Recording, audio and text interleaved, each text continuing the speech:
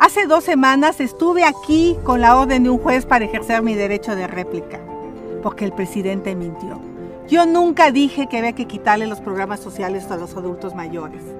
¿Cómo creen que yo voy a quitar esa pensión si mi abuela murió tirada en un petate por falta de atención médica? ¿Ustedes creen que voy a quitar la beca Jóvenes Construyendo el Futuro si gracias a una beca de la Facultad de Ingeniería yo pude aprender a programar y conseguir un mejor empleo?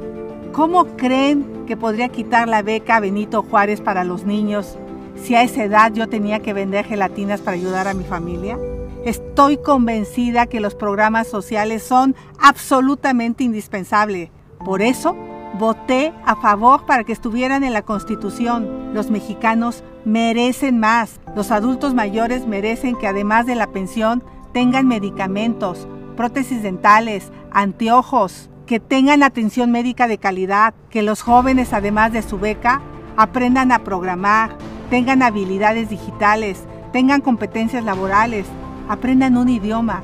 Eso les va a permitir conseguir un mejor empleo o emprender su propio negocio. Que los niños tengan de nuevo sus escuelas de tiempo completo y sus estancias infantiles.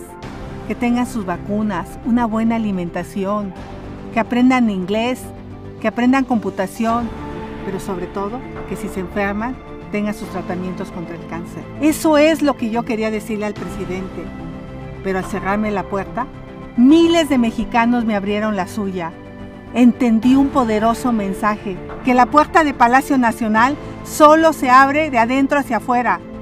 Por eso, vamos a abrir esa puerta para millones de mexicanas y mexicanos. Desde aquí les digo, voy a ser la próxima presidenta de México. Si ustedes van, yo voy.